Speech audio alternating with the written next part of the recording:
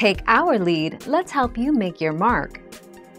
Our goal is your satisfaction. Let us show you the way. As all farmers and real estate agents know, an acre is defined as an area one furlong long by four rods wide. Basically if you can picture a football field, that's pretty close to an acre in size.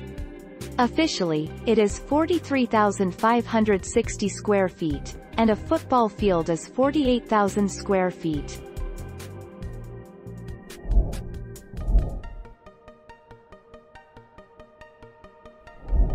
Make your mark, take our lead.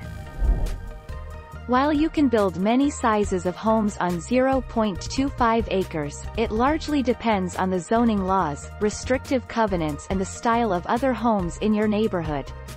These factors will have an impact on the size and height of your home's floor plan.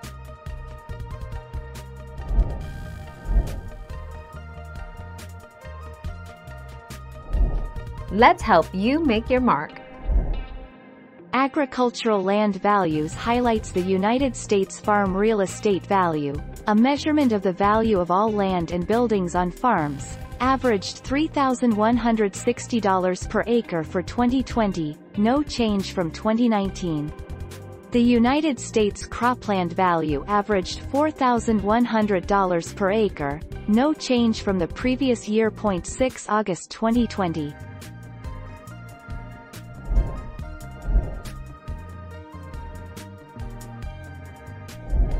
Make your mark, take our lead. Generally, with excellent management, one horse can be kept on as little as 0.4 hectares 1 acre. If running horses together, an owner would be doing exceptionally well to maintain a ratio of 1 horse per 0.4 hectares 1 acre. In a year, a horse will chew through about 11 hectares of pasture. 9 January 2013.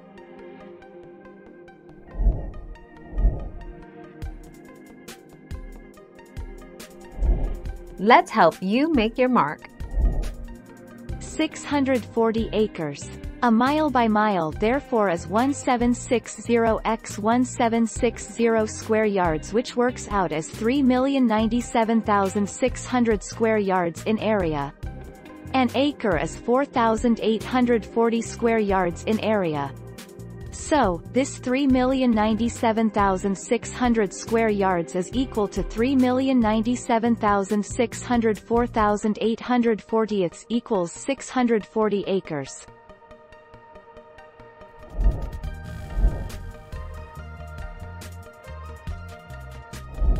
Let's help you make your mark.